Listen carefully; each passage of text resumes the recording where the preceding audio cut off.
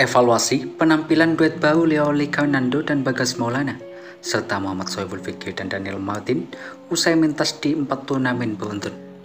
Asisten pelatih ganda putra Indonesia, Thomas Indarjaya, pun mengungkapkan evaluasi untuk mereka. Diketahui, pasangan yang sebelumnya saling berduet satu sama lain itu langsung menunjukkan hasil gemilang setelah ditukar silang. Leo Bagas dan Fikri Daniel seperti mendapat angin segar setelah sebelumnya sering gugur di babak-babak awal bersama pasangan lama, yakni Leo Daniel dan Vicky Bagas. Dari empat turnamen yang mereka ikuti, Japan Open, Korea Open, Hong Kong Open, hingga China Open, mereka kompak mencatatkan hasil apik. Mereka sama-sama mencapai semifinal tiga kali. Bedanya, Leo dan Bagas berhasil mengantongi satu gelar juara di ajang Korea Open 2024 Sementara itu Vicky dan Daniel belum pernah menginjakkan kaki mereka di final. Thomas Indrajaya pun menilai secara keseluruhan performa kedua pasangan anak buahnya itu sudah cukup memuaskan.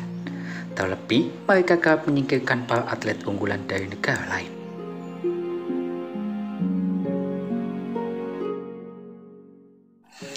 Untuk Leo Bagas serta Fikri dan Daniel, secara keseluruhan sudah cukup baik mereka bisa bersaing dan mengalahkan unggulan yang pengalaman berpasangannya lebih lama dan peringkatnya lebih di atas mereka, kata Thomas Indrajaya dikutip dari list BPSI.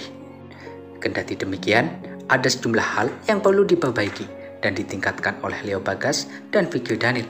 Salah satunya adalah kesalahan yang kerap dibuat di poin-poin kritis karena mereka kehilangan fokus di lapangan. Tapi memang perlu waktu untuk bisa lebih kuat dan konsisten lagi latihan lebih banyak untuk memperbaiki kualitas. Kekompakan dan chemistry di lapangan juga harus bisa mengatasi rasa grogi di lapangan, terutama di poin-poin penting atau kritis. Jelas Thomas Indrajaya.